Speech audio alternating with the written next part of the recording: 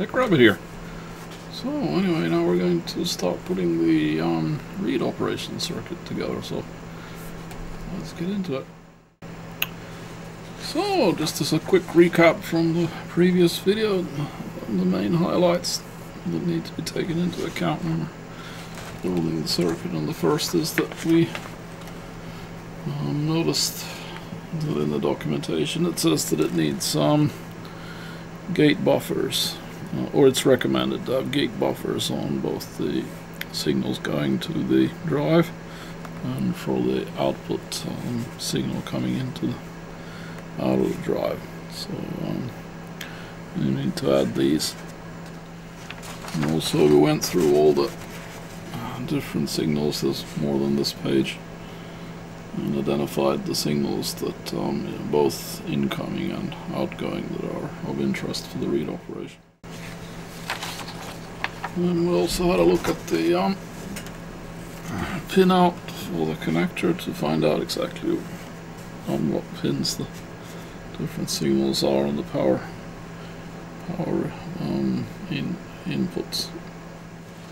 So, and a bit off camera, then I worked on this, taking the different signals and defining their the name, the role, um, what is their um, active state, or if they're going to be permanently held to a certain state, what pin they are on, and then a um, color of the wire that will be used for that specific signal.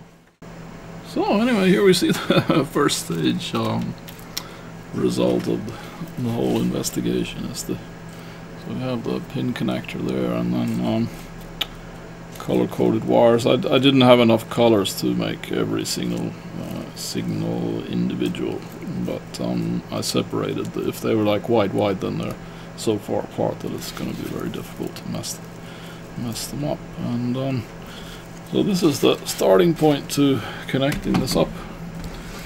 And then um, the next phase is going to be the um, required gate logic. And oh, I thought I'd just put it on a breadboard for now. So I'm going to start working on that. So, found some chips. I need three of them. And um, is going to be, or one type is going to be this hex inverting gate. And this will be controlling the, the inputs. So one comes in and then zero goes out. And if zero comes in, then one goes out.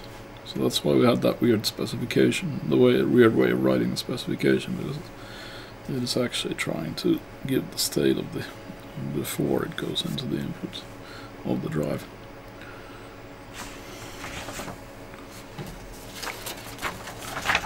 And the other inverter to be used is actually this one here. Hex inverter with Schmitt trigger inputs. So this is for the output coming from the drive. And the Schmitt is the idea with this. It's it's yeah, like a better implementation on the input side to be able to actually give you a reliable one and zero on the output side, depending on the. If, for example, the input signal is a little bit um, uh, not really that clean digital ones and zeros, then it can actually try and clean it up as best it can and give you a clean one and zero representation on the output output side of this um, trigger. So I did a bit of mapping on how these wires should go to which pin and, and stuff. So I will get to work and um, wire this up. So that's the first phase completed. And um, next I'll just wire in the power for the chips. So that's the power connected in. And um, this is actually not a very high speed um, configuration, so I'm not too worried about the extra wire lengths and stuff right now. We'll see if we need to modify it if it actually doesn't work due to that, but I doubt it. Yep. So, um, the um, uh, pull-up resistors for the outputs from the drive. And um, I'm not going to put any bypass capacitors just to make sure I get lots of comments. So, added the um, pull-up resistors on the outputs. Uh, it's a bit difficult to see. Anyway, so um, so far so good. And uh, then of course now the question is, how is this to be controlled? So um, my first pass um, device will be just a standard Arduino Mega. And um, then of course need to generate a piece of code for it. We'll look into that also. So anyway, but the first thing is how I get this wired up. So anyway, the rat's nest is completed, so the Mega is connected in. I need to remember to reset the program, because I don't actually know what program I have. And then um, also apply power to here, so it'll be um, plus 5 volts, plus 12 volts and ground. And then I need to um, yeah, power it up slowly with with a current limiting power supply just to check that there's no short circuit so nothing will start to smoke. And I actually don't know if something will, we'll see if something uh, I'll try and film it also a bit so I don't know if this will actually the motor will start or something might actually activate because I have no idea what the default state of these um, lines are well so uh, reset connecting power. Okay, connected the power in. And uh, yeah, and then I've cleared the program so there's no, it's just a normal uh, empty loop running on that one. And this one I've set to 5 and this I've set to 12. And the 5 volts goes to um, the TTL logic. Uh, and then to the drive and then the 12 volts. Basically it goes to the drive. So now I have current limiting on. So then we can see let me free up the current limiting. So that's 30 milliamps. It's not very exact but it's it's um yeah 5.1 uh, this power supplies not a digital power supplies but anyway, so it looks like we got 30 milliamps, and that would be kind of what I would expect, taking into account all the circuits, so that's not a short circuit. I really doubt that anything's going to. And I'll leave the current limitation on. We might need to increase it. Um, and then we're going to see what happens when we um, add 12 volts. And that could be that the motor will just start. We might see a slight step movement because uh, the, the status of the of the signals is not really known. So no current, 12 volts. So that's good. So I would say successful power up and this is still alive, working. So um, uh, what do we need now then? Oh yeah, there's something to do with software. So okay, I'm going to get to work and um, write some so software piece for that so we can actually test the, the functionality. So with the speed of video we have some code now. Um, I'm just going to give a brief overview, not going through every line. Anyway, the first things I created a little bit of a trick for um, the Boolean states when it comes to there's an inverter um, output side. And then I put in the each parameter. I actually added the full, copied in the full description of it. And then I created a variable for it, and then I created a constant which says that it's, you know, uh, basically the parameter, and then uh, it's uh, the pin address, and is it input or output. Created that a list here. And then um, uh, created a single execution loop basically. I did this a little bit of tricking again to um, when you read a value that it understands that it's inverted when it comes from the um, drive. Well, the usual, up the serial port and then um, yeah, setting up the input output ports and then the for output ports their initial state and then getting the initial value from input values.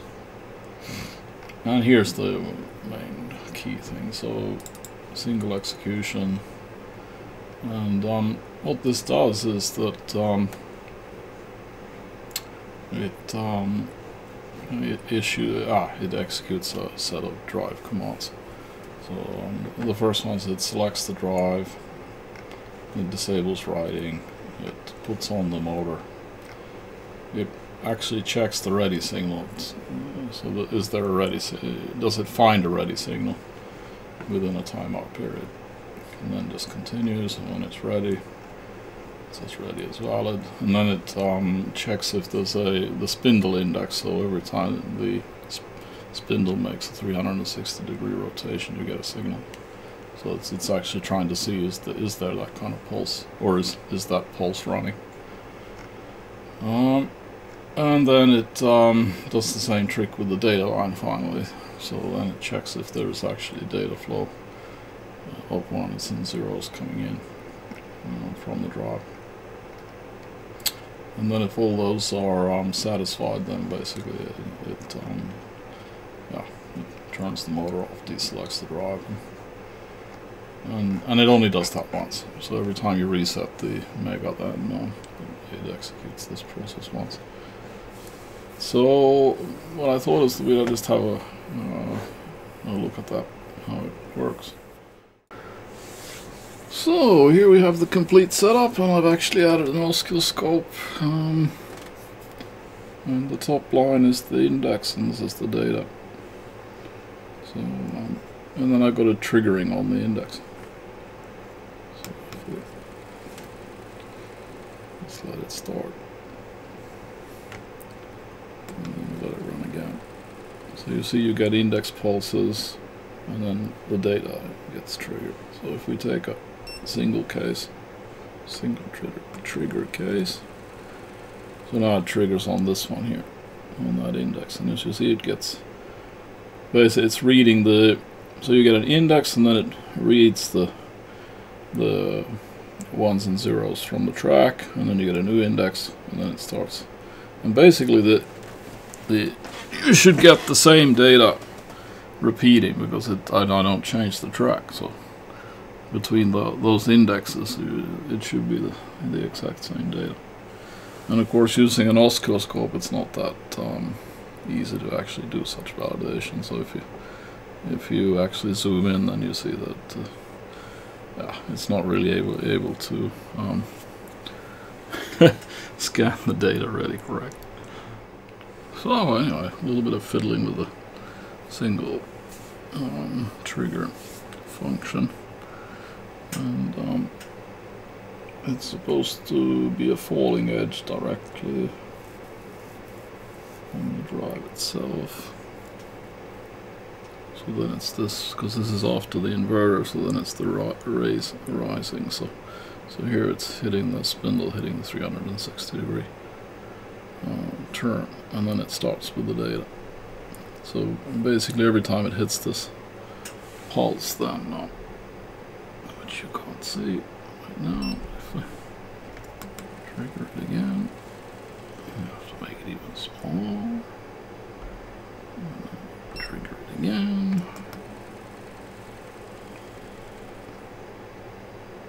where is it? There. So there you get the full pulse. So at the beginning when that comes up there then it starts and then it's the data stream.